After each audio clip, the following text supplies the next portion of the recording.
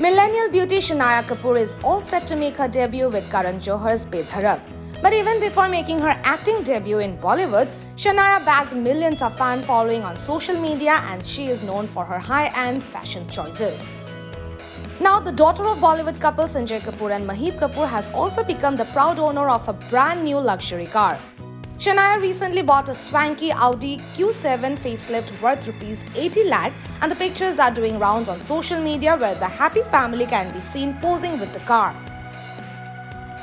Meanwhile, Shanaya, who is often seen sharing happy moments and glimpses on her Instagram handle, recently dropped an alluring photo of hers posing on a rooftop swimming pool.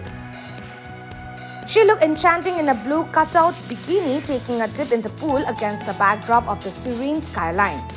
A few days ago, Shanaya also shared a bunch of jaw-dropping pictures from the rooftop of a building where she can be seen donning an attractive green slit dress with her hair left open.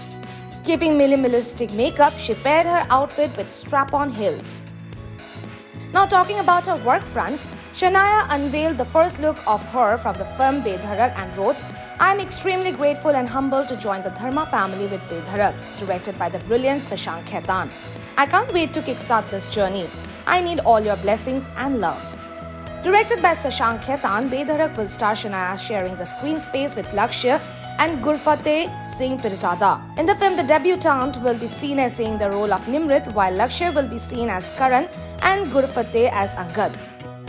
Reacting to Shanaya's debut announcement, her mother Maheep Kapoor had earlier shared her reaction with E Times and said, Thank you, God is kind. Meanwhile, Shanaya's big Bollywood break was long due as she had been leaving no stone unturned to prepare for the industry.